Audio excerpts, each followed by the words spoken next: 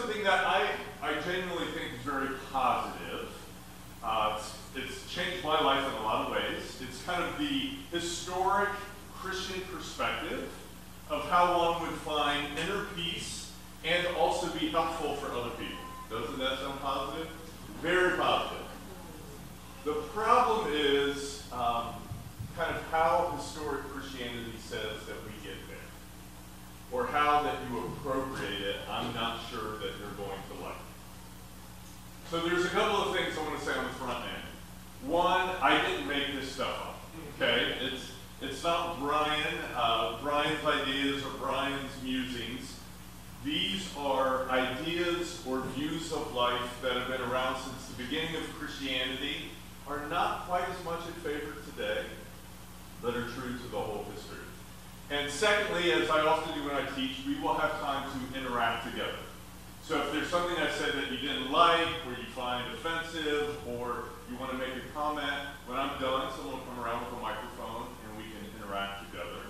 And as a good faculty member, I also have a little that, that we will pass out. Um, probably the, the, uh, the easiest way to get at this today will be to talk about different, maybe four different uh, views of the good life or the purpose of life. And my guess is you will see aspects of yourself in all four of them. But I think it's probably the easiest way to, to kind of explain this historic Christian view of how we find inner peace and become helpful to others. Okay, so this first perspective on the good life or the purpose of life. Number one, this life is all that there is. You better get yours. Now, I, I think this is probably pretty self explanatory. It's the view that you only go around once there's nothing after this. This is it. Life is difficult, competitive, and it's brief. So you got to do whatever you got to do to find happiness now. Because this is all that you have. St. Paul in 1 Corinthians 15, kind of referring back to the Hebrew prophet Isaiah, mentions this way of life, where he says, If the dead are not raised, or this life is really all that there is and there isn't something else, then let us eat and drink for tomorrow we die. If this is all we got, you might as well enjoy life the most that you can because it's over pretty briefly. Now, there is an advantage to this way of life. There's an advantage to all the ones I will mention because if there wasn't, no one would follow them, right? Part of the advantage is it makes it easier to be successful professionally or just kind of go for whatever you want in life, at least in the short run. There's nothing holding you back. This is it. Just do it. Maybe we would illustrate this way of life with uh, maybe the stereotypical image of frat boys. Just kind of living for themselves, living for the moment. Or maybe if you think back, maybe not all of you, you're good people, but for some of us, when we think back to what we were like as teenagers. What do I want to do? What seems like it'll make me happy? Let's do this. The problem is, where this gets complicated, is if life is not going well for you, then what do you do? And here we end up with the uh, corporate executive, or maybe the politician, that whatever uh, increases shareholder value or gets votes, you will do, even if it's not good for society. Because you got to do what you got to do. In the most extreme form, obviously, this would be a hardened criminal who simply lives for what feels good to them, or a war criminal, maybe someone like Vladimir Putin.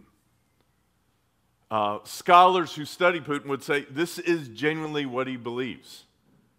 Life is brief, this is all that's here. It's hard, it's competitive. I got to do what I got to do to help Russia, because this is what we are all doing. Long, long time ago, I think before I even had kids, when I was a very young minister, a middle aged man came to talk to me. And he's like, Hey, uh, you got this pastor thing going, you can't tell people what I tell you, right? I'm like, No, that's true. It's kind of, it's kind of like attorney client privilege. I can't, I can't tell anyone. And he's like, Well, I just, you know, I think I know what I want to do. I just wanted to run something by you. He's like, So, um, there's this gal at work, and she is smoking hot. I mean, smoking hot. And she's kind of let me know that if we want to kind of be together, I could be with her. He's like, hey, I know what you're going to say. I know I got a couple of kids. I got a wife. My wife's a sweetheart. I'm not going to leave her or anything like this. I'm just, I'm just going to do this. Um, and I was like, you can imagine some of my response. And he's like, Well, one of my buddies at work says, one day, if you don't take this opportunity, one day when you're old and gray, you will have wished you had. That would be an illustration. This life is all that, you're, that there is. You'd better get yours. All right, number two, second view of the good life or the purpose of life. Eternity with an all powerful God is everything. Don't waste your time pleasing people. Trust in God. Believe in a holy creator. This is all that matters. Um, finding a way to be with God in eternity, everything else pales in comparison. Don't worry about what others think. These people probably don't know God, anyways. Just trust who God is. I think we see this illustrated a little bit in Luke's Gospel, chapter 9. It says, Jesus sent messengers on ahead who went into a Samaritan village, but the people there did not welcome him. When James and John saw this, they asked, Lord, do you want us to call fire down from heaven to destroy them? They left everything to follow Jesus. They were convinced that giving your life fully 100% to who God is, regardless of what the world thinks, is everything. And so when they encountered some other people who didn't believe, and even more were pretty rough with them, their first thought was maybe we should take them out. Maybe that's what God would have us to do. Now, again, there's an advantage to this way of life. It's, it helps you to have courage to be bold. People who genuinely believe this way, they don't deal with a lot of anxiety. They feel pretty solid about who they are and how they are living. They don't worry what people think of them. If people put you on blast online, oh well. God knows what you're saying is the truth, and you will ultimately be vindicated. If you get sick and die, oh well, you go to heaven. There's nothing to fear. The problem is how sometimes people who believe and live this way treat other people. So, obviously, in a very extreme form, this is where you would have religious terrorism, religious violence. God's holy, everyone should follow God. If people aren't following God, or worse, if they are get, leading others to not follow God, we should do something about them for God. And hey, yeah, it's bloody and it's messy, but maybe some people will find the truth. Is it, does it matter if they lose their life, if they find forgiveness and find God in the afterlife? In a much less extreme form, I certainly don't want to equate them, but a form of this that is still problematic, in my opinion, I think we can find in a lot of contemporary American churches. I've heard it in churches in this town. Someone like me stands up front and says something like, Look, everyone's talking about race relations or racial justice or environmental causes or how do we improve education for the young or how do we prolong life. But does any of this stuff really matter? What really matters is that you're forgiven, not all of these other things. And frankly, people don't say this on CNN, but frankly, all of this is going to burn one day anyway. So those causes or concerns don't matter. Now, my guess is being at a church on Sunday morning, there's probably at least a couple of you that hold to this view. And if you hold to it, I understand. I do in some ways, I certainly have in the past. I understand, particularly if you lived a kind of life that was messy and complex and you have found God in the Bible and faith, and it's changed everything, sign me up for that. It can be very easy to say that's all that matters. And in some ways, that's right. But I want to encourage you if your faith is helping you to feel confident and secure and at peace, but yet others in your life feel like it is leading you to be less than kind to them, you might want to evaluate some aspects of your faith at least. Okay, number three, there's only four. Number three, view of the good life or purpose of life. I believe in a higher power, but who really knows a whole bunch of the details? Be a good person and help change the world.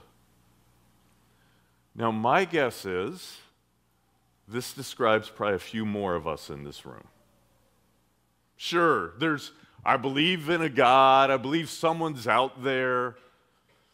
And if spirituality can help make a practical difference to make the world better, I'm all for it.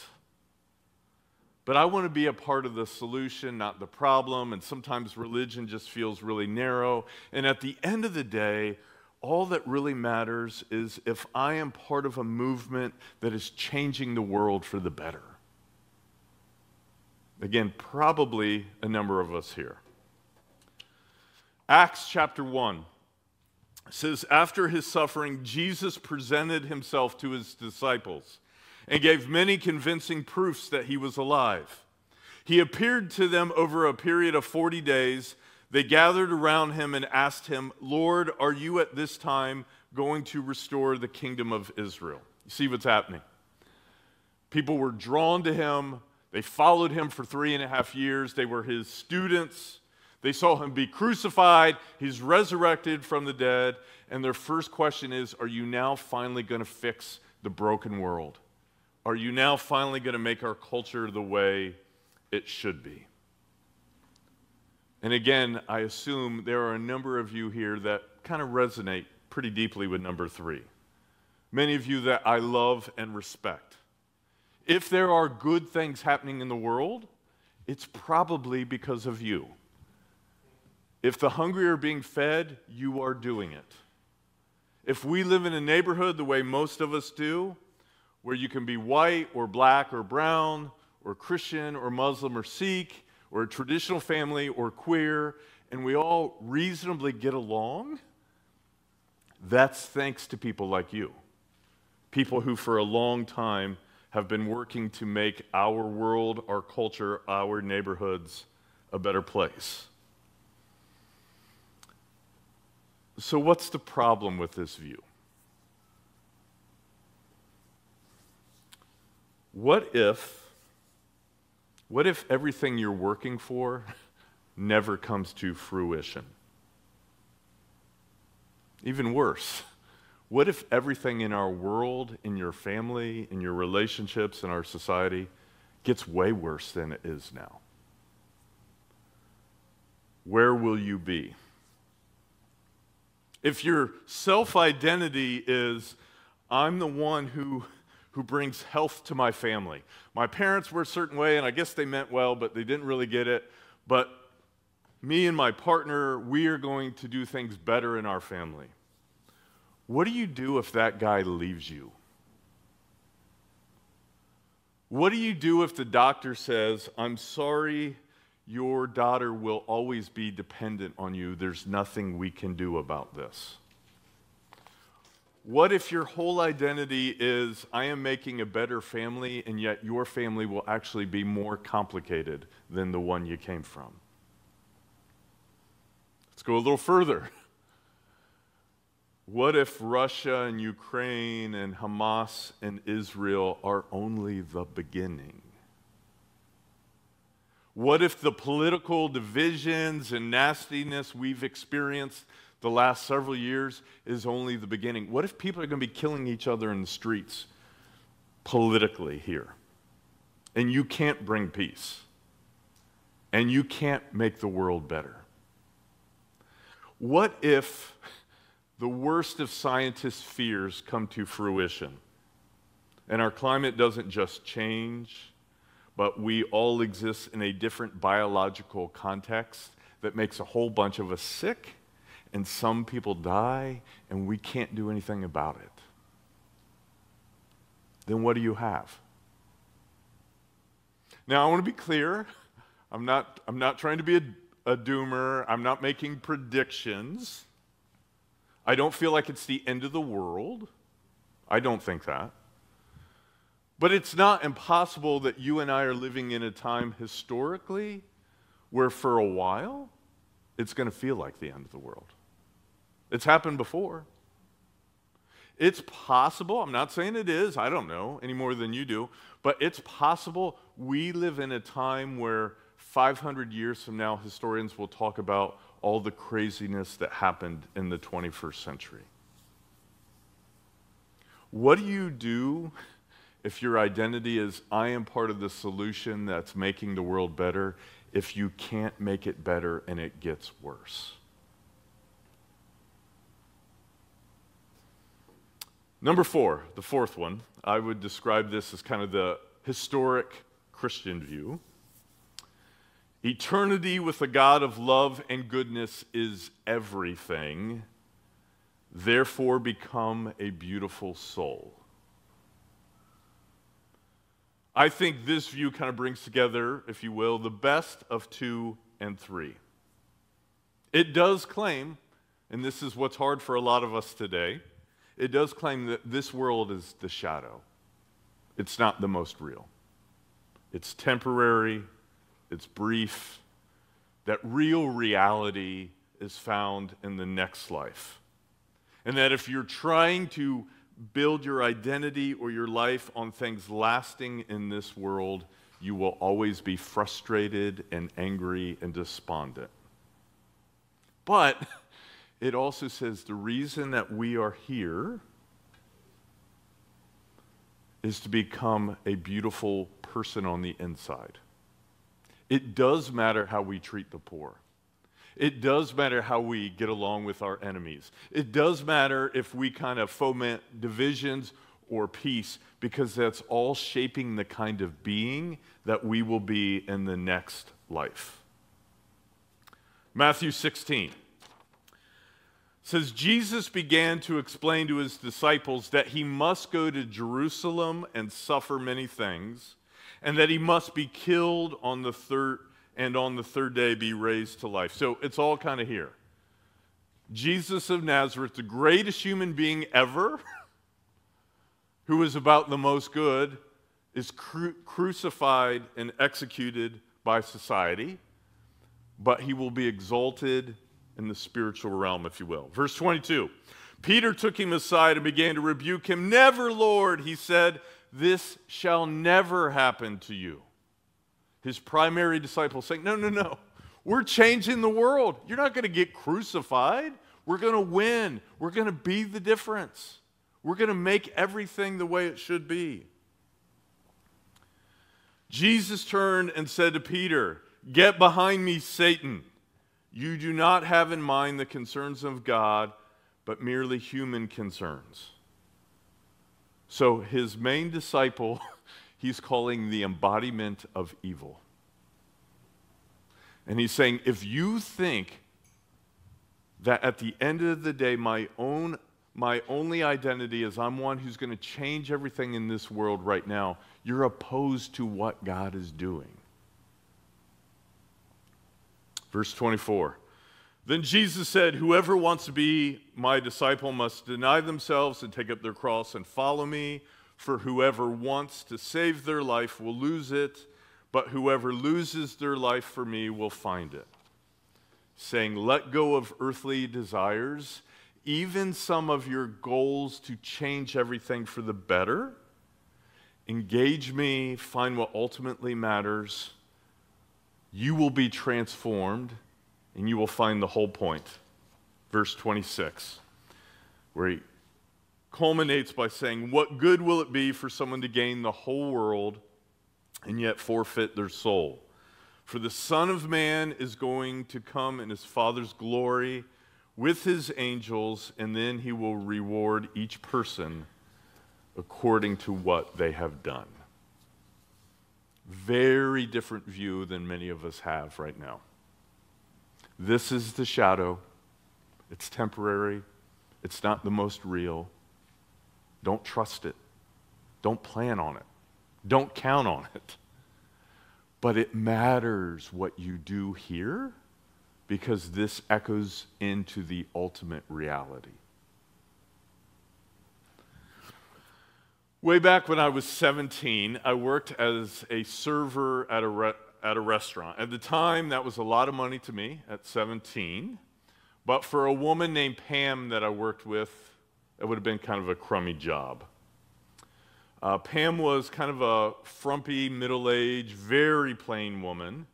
And I could tell by all the hours she had to work and the look of her car in the driveway, a little bit she mentioned about her family, that she did not have an easy life. And she, yet, she might have been one of the most amazing people I've ever met. 30 years later, I still remember her. Pam cared about all of us. She acted, at least, thrilled to see me. And every time I had to talk about all my petty little teenage problems, she would listen patiently and encourage me. When there was conflict in the back of the house, that's the kitchen in the restaurant, she was the one who would bring calm. She had a way of making everything better. But there were two things about Pam that were kind of unusual, at, at, at, least to me. One is why, at the time, I didn't have words, why I was so drawn to her. She was at least my mom's age, not really an attractive person, not super charismatic, definitely not cool and yet she radiated out this sense of life that was compelling, that just drew all of us to her. And number two, she made it clear to those of us who got to know her that Jesus was everything to her, and she tried to live her life according to his vision. But I never heard her talk about politics or controversial social issues. I don't even remember her telling me what was right and wrong and what I should do. There was a lightness to her being that helped her face challenges. It was like she was plugged in to everything that was good, and she kind of channeled hope to the rest of us. 30 years later, I still remember Pam. I think she embodied this view that eternity with the God of love and goodness is everything. And this is how, because she held it lightly, this is how she didn't have a lot of money, she wasn't super healthy, she had complicated relationships, and yet not only was she able to keep going, she had something to offer the rest of us because she wasn't, she wasn't trusting here and yet she was becoming a beautiful soul. She lived into this purpose. She wasn't trying to get hers, she wasn't trying to change other people, but she was a different kind of person that drew us to her. Historically, in my opinion, Christian faith would say this is the way. And that's what Pam was living. Okay, that's, that's all I have. Can I get you to pass a couple of these out? Um, we'll have some time to interact together. I think somebody has a microphone. If you have a question, comment, disagreement, put up your hand. Here's a handout coming around. I'm sorry, I just felt like I had to do that. Um, about a page and a half is just quotations from different people. And then there's about a half page if you're like, this is really abstract. If I in any way buy in, what would I do? What, what, what could I do to help me live into that? So I just put a couple of things on there as well. So, uh, again, if you have a question, comment, disagreement, I don't know that I have any answers, but I'd be happy to interact with you a little All bit. All right, so I got a mic here, and then you can also I can you can raise your hand. I'll come around if you want to text nine four zero zero zero. If you text that, put in your question. I'll get it here on my phone too. So if you want to remain anonymous uh, or want to push back, do it in person or over text. Uh, so nine four zero zero zero. Uh, anyone anyone got something right away? All right, Brad. I'm gonna hold the mic because you know. All right. So, um, so for those of us that are that are looking to, to follow Jesus and, and to pursue God in, in in our world here, I presume that one of the four choices that we make here, hopefully, you know, probably number four, sort of flows out of that. So my question for you is, what is your understanding of what God is doing in the world, and how does that inform the way that you think about sort of how we should be living? Great, great. Um, so again, Brian's opinion, but I think this is what historically Christian bright lights would say. What God is doing in the world is looking for people who are open to take on God's character. That's what God's doing. Um, I don't know. I, I don't want to sound negative. you can let me know if this sounds too cynical. I don't know that history has like a plan necessarily. I think it is kind of a grand drama of different times, different peoples, different places, different cultures. Some people open themselves to everything that is good and beautiful and loving and experience God flowing through them, channeling through them to others, and a bunch of people don't. And that's what God is doing. Where I think as contemporary people, we tend to think, we tend to spend more time on what's God want me to do for a job or what, you know, should I marry this person or not? Or, and I don't want to say those are small matters, they're huge matters of our life. I'm not sure that's the main thing God is doing. I think the main thing God is doing is helping those of us who are open to become more like God.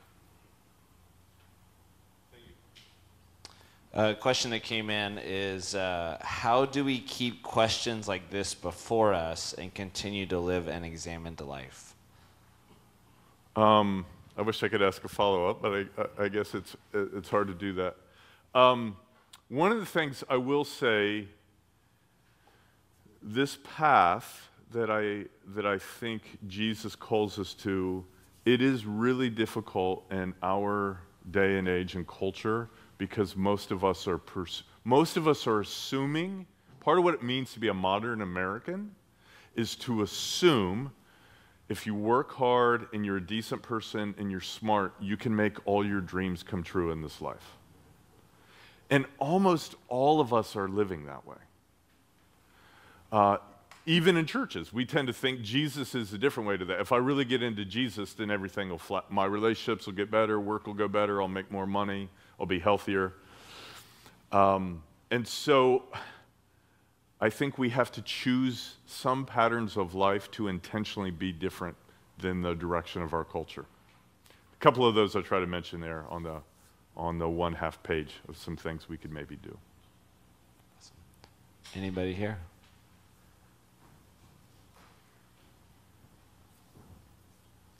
Come on, you're thinking it. I got an online question then, a text question. Uh, do many non Christian religious practitioners abide by a similar martyr mentality that gives them purpose for their own lives? For example, do many Jewish people live by philosophy number four? That's a great question. Um, that's a great question. My experience would be okay, there's only one God, according to Christian Orthodoxy. There's only one God who made all peoples everywhere.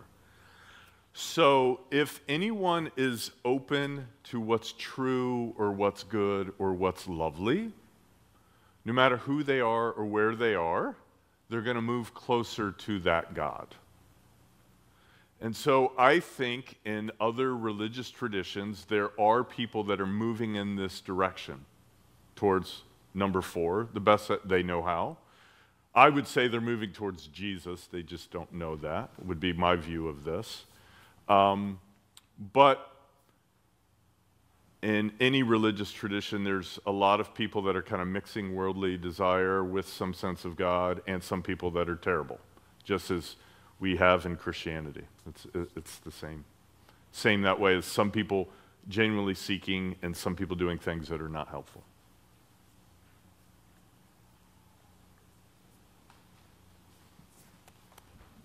Um, I have a question about the uh, idea of becoming a beautiful soul. In what way is like Jesus different than, say, Plato? The idea of being, you know, in our modern idea, the word soul often thinks of like a non-physical spiritual reality. Mm-hmm. But in which ways is like Jesus and like Jewish and Christian thinking of like the resurrection of the body, mm-hmm. affirm creation in a different way?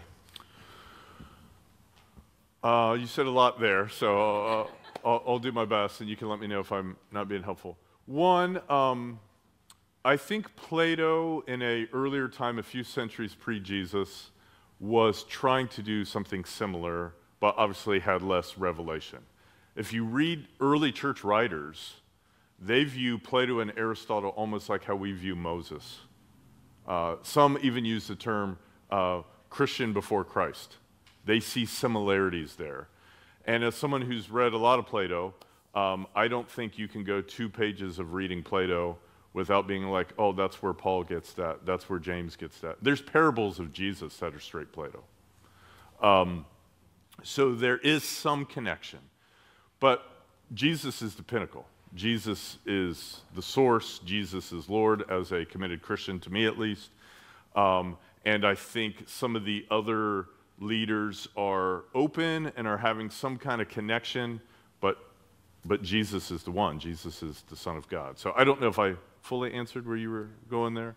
Um, but yes, I don't, I don't personally agree. I, I actually think the early and medieval church would disagree with the contemporary Christian notion that uh, it's not really about the state of our soul, it's more about what happens in this world, and therefore we look to resurrection. Of course, there's resurrection, and of course, it matters what we do in this world.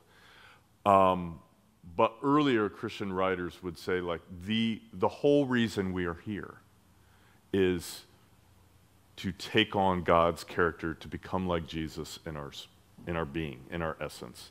Because everything in this world is transitory.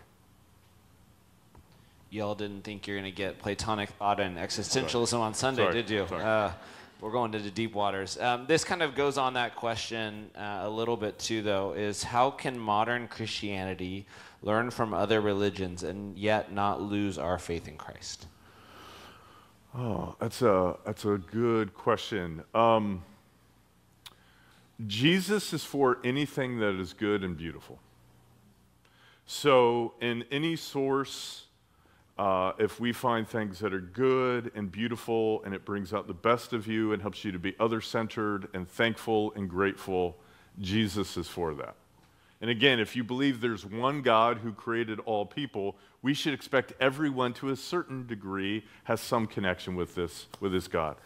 Um, I, don't, I don't worry too much about committed Christians being swayed by other religions because I think it's pretty hard to beat Jesus. I think it's, I think it's very hard to beat Jesus.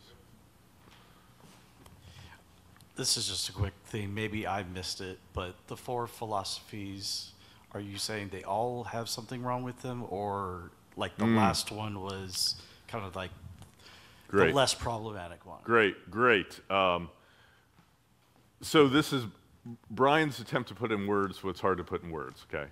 I think the fourth one is the Christian view.